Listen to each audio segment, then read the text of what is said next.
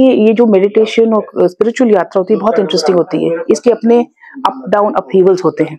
पहले शुरू शुरू में आपको तो लगता है व्हेन यू डू इट जिसको हम बोलते हैं मेडिटेशन बाइट्स या जिसका आप बोलते हैं अच्छा आह ये है।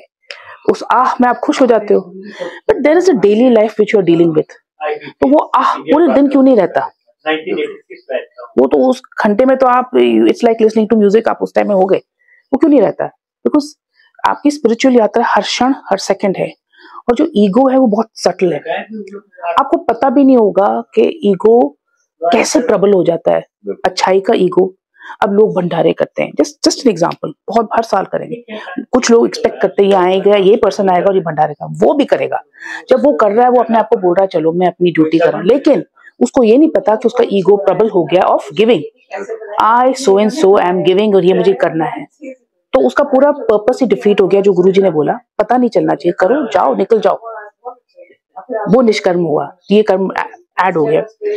तो जब वो जर्नी स्टार्ट हुई, इन्होंने करा, मैं मैं बात करती थी मैंने कहा, ऐसा ऐसा। तो he guided what is the index of spiritual growth अगर आप अपने अंदर परिवर्तन देखते हो you if you are a very angry person आप शांत हो जाते हो। यार you you are very selfish थोड़ा लेस सेल्फिश हो जाए then you are spiritually growing this was his guidance to me and time to time he kept guiding me and telling me और with his blessings, i am telling you, i'm not married, but i feel my life is complete. I feel कि मुझे किसी की ज़रूरत नहीं है, ना कोई सक्सेस की। It is a measure of what my life is किसी चीज़ की नहीं ऑल हिज ब्लेसिंग्स सब इनकी ही ब्लेसिंग्स है, और इनकी गाइडेंस है इन स्पिरिचुअल यात्रा। और he doesn't let anyone know कि इनके पास कुछ है। ये बोला, नहीं नहीं, मैं कुछ नहीं मगर is a very very powerful human being मैं पावरफुल वर्ड यूज़ कर रही हूँ, जो नहीं बताता है।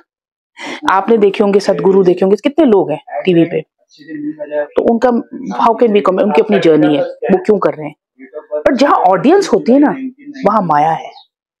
और जहाँ माया है, वहाँ इन्फ्लुएंस है। जहाँ माया का इन्फ्लुएंस है, वहाँ corrupt corrupt mind can get corrupt so if if he said ये इंडिविजुअलिस्टिक जर्नी इसमें आपको किसी की ज़रूरत नहीं आप अपनी यात्रा में मस्त हो। कोई आए नहीं आए यूट्यूब में आऊँ नहीं आऊँ कोई मुझे जाने ना जाने इट मेक आप you are free you don't want attention आपको अटेंशन की ज़रूरत ही नहीं है।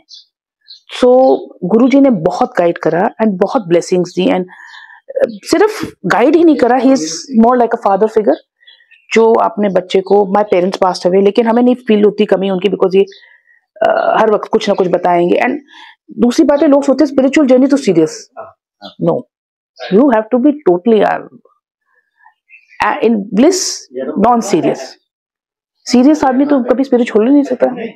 सबसे बढ़िया सेंस ऑफ़ ह्यूमर तो ईश्वर का है। जिसको ईश्वर या आप एनर्जी कहते हैं सबसे बढ़िया सेंस ऑफ़ ह्यूमर तो उसका है। अगर आप देखेंगे ऑल अराउंड कुछ हो रहा है नहीं हो रहा होल वर्ल्ड इज़ गोइंग जैसे चल रहा है। पर हम उसके बारे में हम एक सेकंड भी नहीं देते हैं। उस एनर्जी को।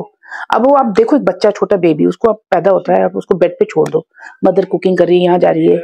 वो कुछ लाइट को देख रहे हैं, हंस रहा है, वो मस्त है। That's the state we are to go back to वहाँ से शुरू होती है माई जर्नी तो उसको कोई आइडिया नहीं कि मैं इधर से गिरा तो मेरे को लग जाएगी। There is no fear and when there is no fear fear you are in communion with the higher power आप उनके साथ कम्युनियन में जी रहे हैं। आप उस, उसमें आए हैं, उसमें मस्त है।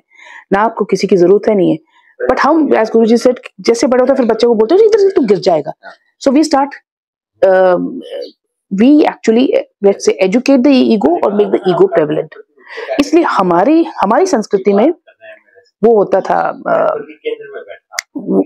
जब बच्चे पैदा होते थे आफ्टर सर्टन एज वो गुरु में जाते थे जहाँ पर मेडिटेशन वॉज़ अ मस्ट